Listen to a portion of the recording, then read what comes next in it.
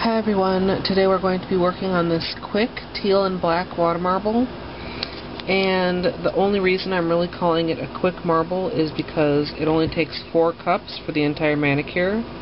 I'm dipping my middle three fingers together and then my thumb and my pinky finger together so you know instead of 10 or even usually 6 it's quite a bit less uh, polish and less drawing of the design.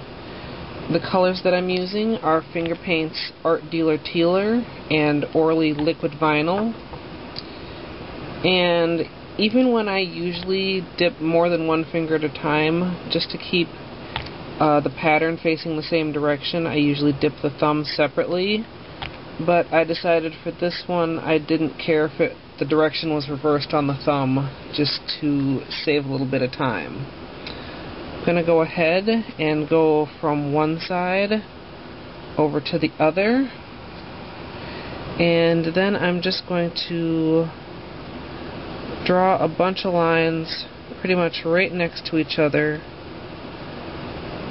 And not too complicated of a pattern but just making sure that the area I want is going to be big enough right down here to dip several nails.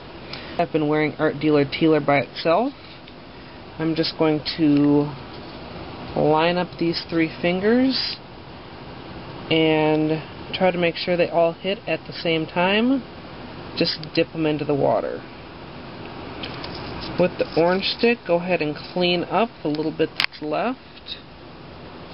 There's not much when you're dipping this many fingers in this small of a cup and go ahead and pull your fingers out. There's your water marble. if you'd like to see some more pictures of this design, you can check out my blog, mysimplelittlepleasures.blogspot.com. And as always, thanks for watching.